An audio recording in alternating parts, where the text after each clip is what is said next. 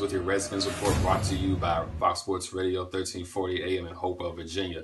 The Lions beat the Redskins today by a score of 20 to 17, snapping the Redskins' four-game winning streak. Kirk Cousins, he went 30 for 39 with 301 passing yards and two touchdowns, where, where he uh, threw the ball to Robert Kelley for that one-yard touchdown. Then he ran for one, on a 19-yard run on a zone replay. And then we also want to get into Matt Jones. He had a bad day today had a fumble at the one yard line where the Redskins could have had a score, but the Lions recovered it in the end zone.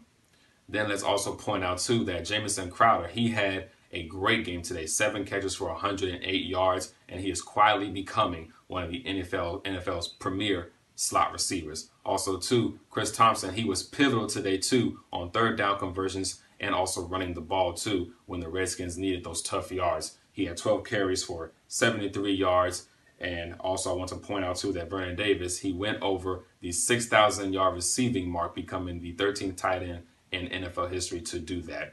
Also, I want to point out that um, Trent Williams, left tackle Trent Williams, went down late in the fourth quarter with an apparent left knee injury. His MRI is scheduled for tomorrow, so we will get you an update once we know the status of um, his uh, injury uh, today.